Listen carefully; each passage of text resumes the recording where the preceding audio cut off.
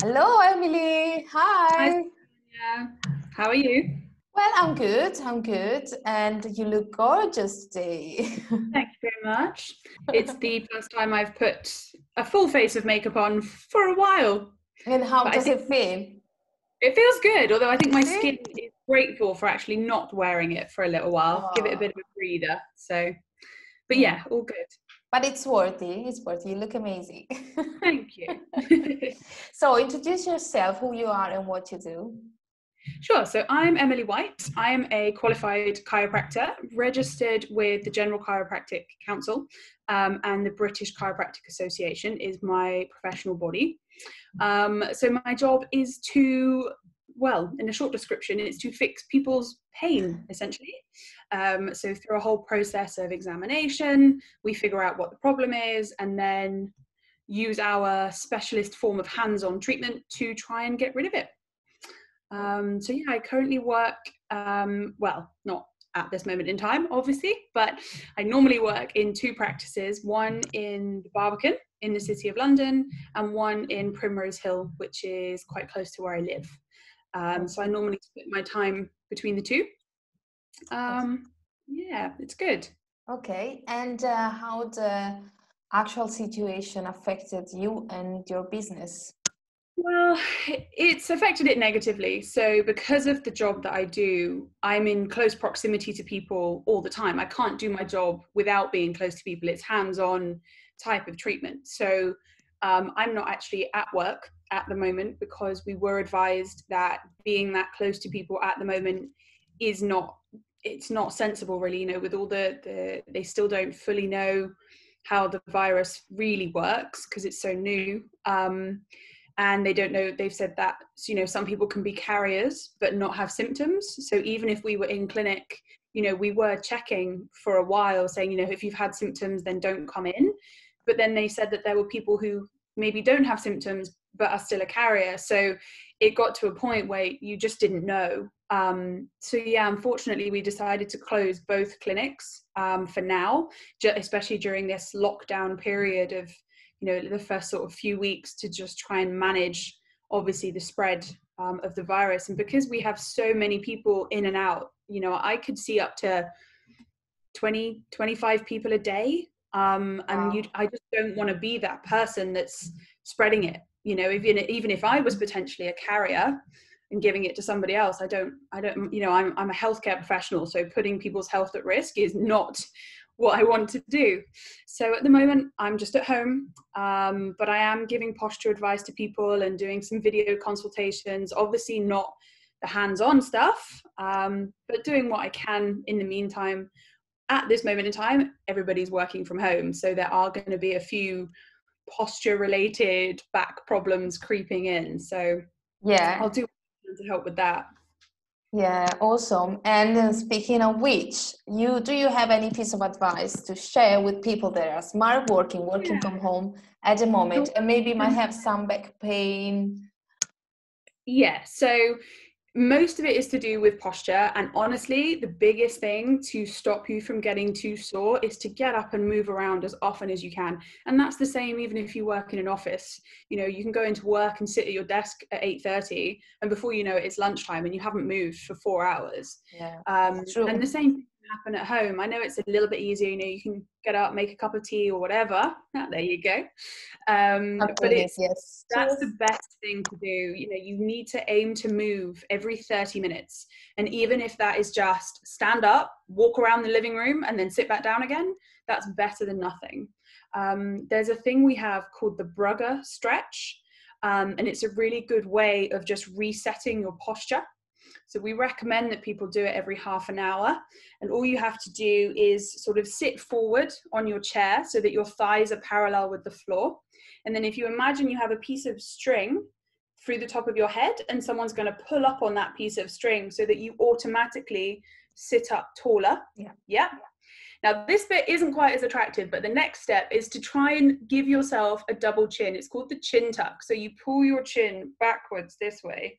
It's just the opposite of what photograph, uh, sorry, photographers say. yeah, chin forward. I know it's the opposite, but when you're on a computer, a lot of the time you end up sort of like looking forwards into the computer screen in a very unnatural pose. Yeah.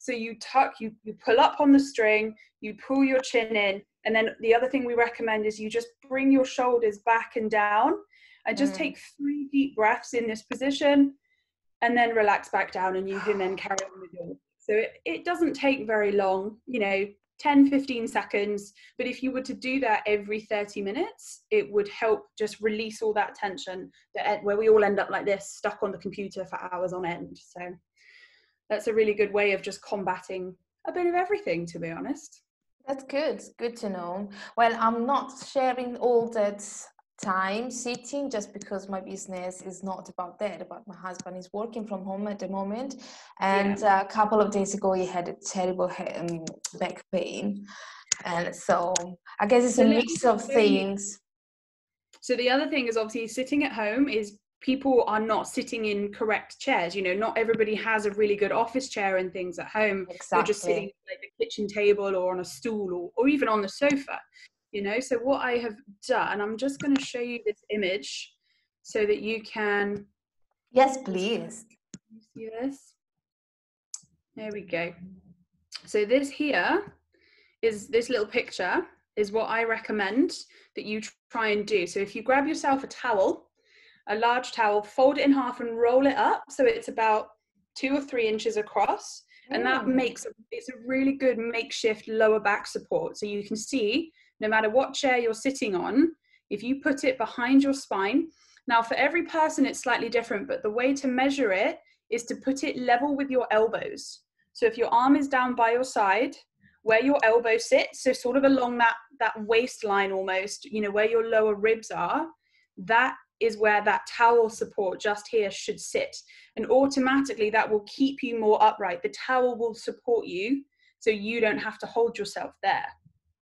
Even on the sofa, you can do this. You know, put all the cushions behind you on the sofa so that you're not slouching into it. It will keep you more upright. Does that make sense? Yeah, yeah, absolutely. Absolutely. Yeah, so that's a really cool. good way of recommending cool. it. Okay. Yeah. Do we have to wear the same? Say again? Say, do we have to to wear something like the? Oh yes, if you have a unitard, definitely wear the unitard. It really helps. Yeah.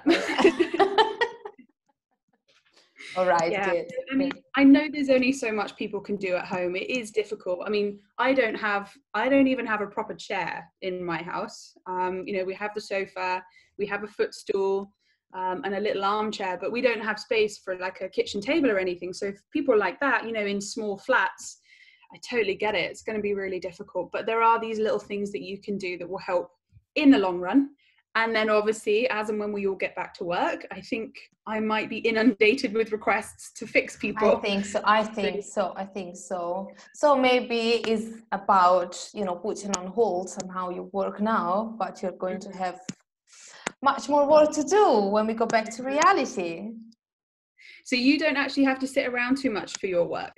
Not really. And well, at the moment, usually I don't because I go around with clients or to clients mm. or they come to me for the color consultation, but I oh, send. Um, at the moment, I don't see them much because I'm looking after my child almost all the time. Well, that will keep you busy for sure. Yes, yes. So when I have the chance to see to do some video content or some video calls like this, it's just, you know, relax for me. Like 10 minutes what it takes. And yeah. So that's good. Yeah. yeah. So as, as long as you're not sitting down for hours on end. No. Um, no. And I'm sure your little one keeps you very busy, which is actually good for you. Keeping yeah. active is much better for your back. Today is three. I think I've already done more than 10,000 10, uh, uh, Oh my goodness. Steps. Well, well done. That's great news. I mean, I don't think I've even done a thousand steps yet today. So I'm going to go for a walk after this. do it. now we still can go for a walk, so do it. Yeah. Um, well, I think instead, my you were talking about working from home and uh, how people can you know adapt or anyway sit in back positions but i think from a styling point of view what can happen is that people can just you know um, adapt to wearing pajamas or tracksuit all the time. All the time. And um, so, my piece of advice today is especially if you are working from home, try every day to work to wear something nice as if you were actually going to work to your office even if you don't want to put too much makeup on or you know Mm. do the whole routine but do something that makes you feel uh, yourself I again understand that actually. As I said, today is the first time that I've because I knew I was going to be talking to you, but I actually feel better, like even mentally feel better. Like I'm more put together.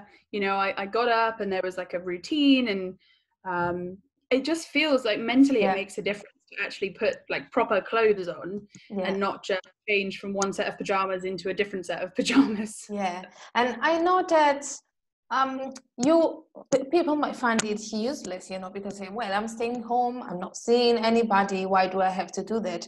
And the answer is mainly for yourself, because as you were saying, you just feel better, and you don't have to do it every day, but maybe most of the time you should do the extra effort. And Yeah. also, especially if you run your own business or anyway, if you have to keep on connecting with people like we are doing now, um, it is you don't forget that you are still connecting with people even if virtually so you still want to give the best impression of Of course, yeah. So we shouldn't forget about it Well, I'm going to try. As of today, um, having gotten up and gotten ready and put some effort in today, I feel a lot more positive and you know just generally more productive. You know, rather than just sitting around not doing much. Um, so I think I'm going to try and stick to it. I'm going to get Yeah, up every day, good get ready. Yeah, it and, i- and now if you go have a stroll you can take a nice selfie of yourself and put it on instagram go. Always good for the selfie. all right lovely to chat with you and i hope to speak again Thank very you. soon See you soon. bye keep up bye Bye.